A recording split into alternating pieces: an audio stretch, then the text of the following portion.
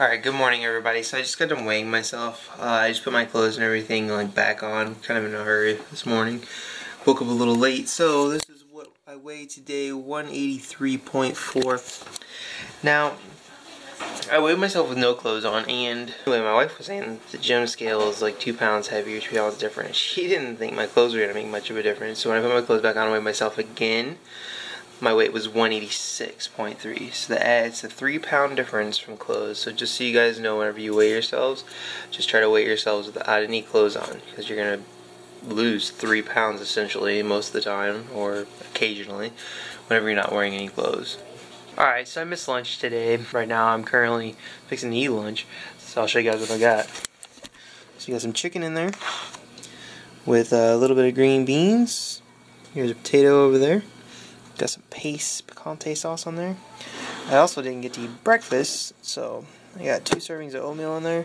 I've noticed that I haven't been hitting my carbs at the end of the night, so I'm trying to up my carbs a little bit. But most important thing to have during a diet, vanilla Coke Zero. Love Coke Zero. Whenever they started like making vanilla Coke Zero, oh, love it. It's amazing. Alright, so just got done with cardio. Did 30 minutes that burned 192 calories from doing 30 minutes.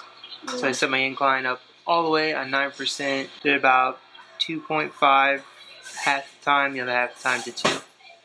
We're eating dinner now. I said I'm gonna take a shower because I'm nasty, but for dinner, got some steak, potatoes, and a salad, and that Coke Zero.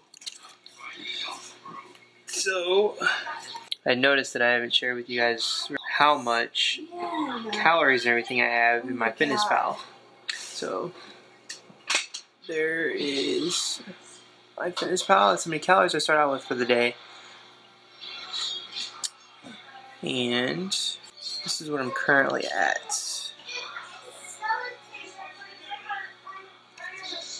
So yeah, probably like one, two more things tonight but it will continue to go down. Take about 150 to 100 calories out each week.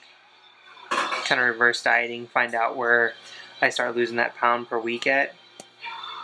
That way I don't jump too far in the diet and start stalling, you know, as soon as I start. That's basically what reverse dieting is. So that's the plan. It's going good so far. Eat this, take a shower.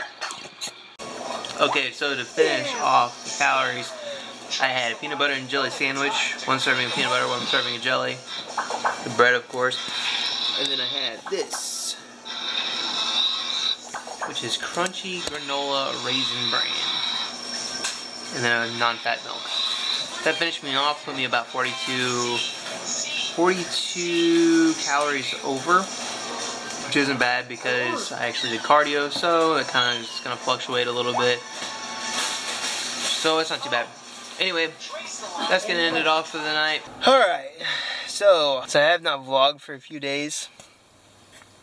Actually just a day, not a few days. Anyway, yeah, today's been a very frustrating day. Just some stuff that happened at work. No big deal, I'm just kind of a wee bit ticked off but it's alright. You know why it's alright? Because I'm at the gym. And I'm going to burn that frustration into some muscle that you would not believe. It's going to be awesome.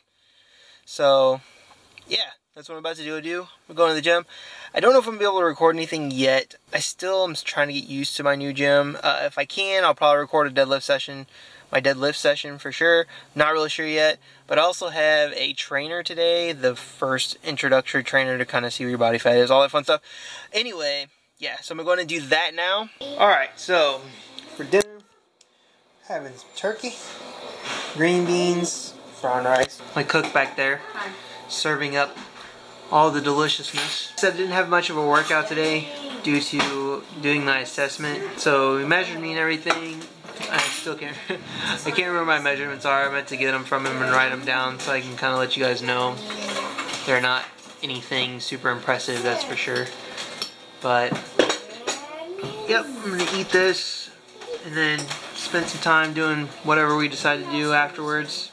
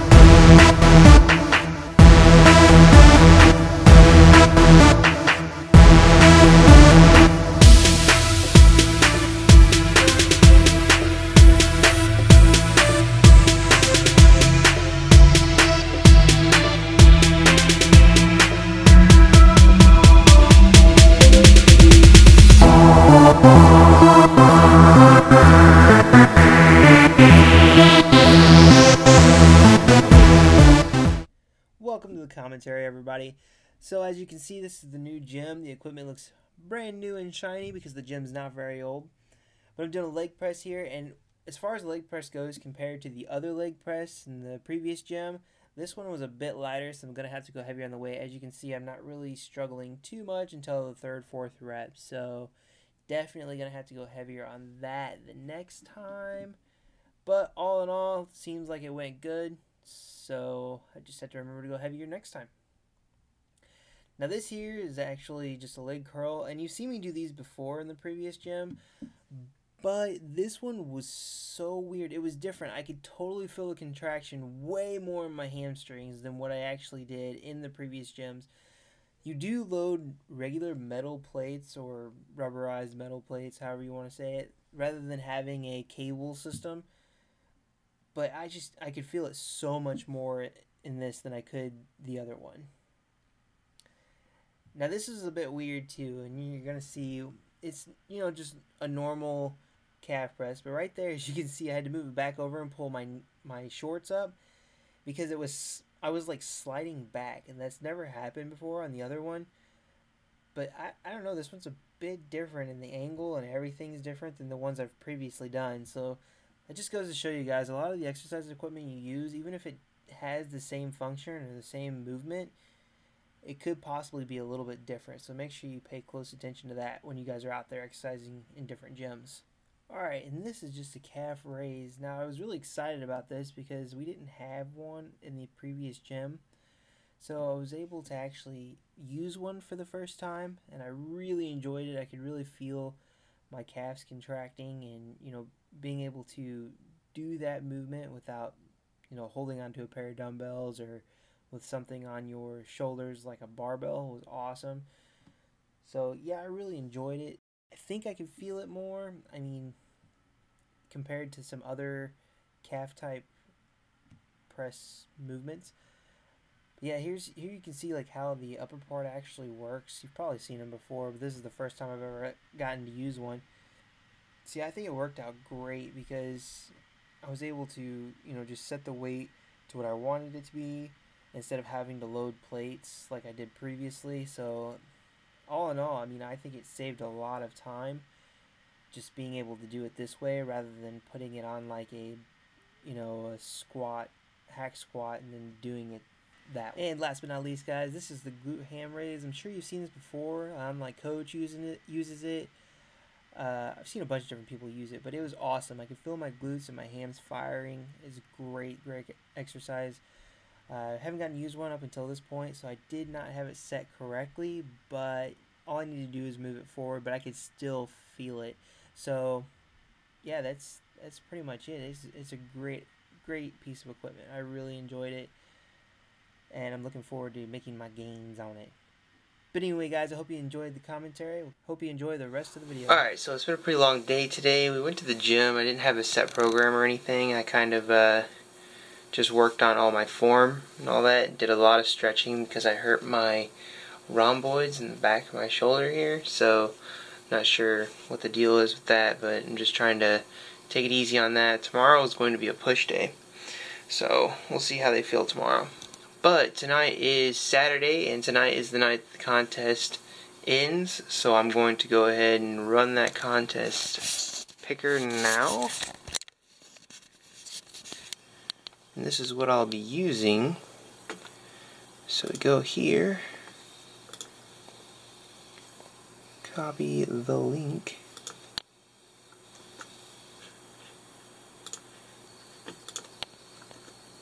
Enter it in here. It loads all the comments. And then you click this little button. Focus. It's randomly pick winner.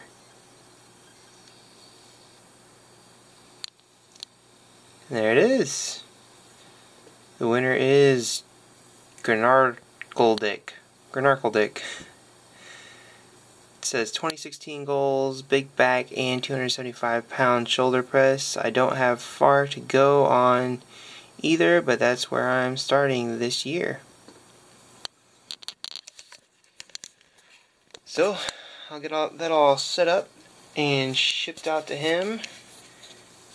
And that's it. That's pretty much all we did tonight, guys. We had watched a movie, couple movies with the kids, watched a couple movies ourselves, so that was pretty fun. It's time for bed now, so make sure to like, comment, and subscribe, and teach their own.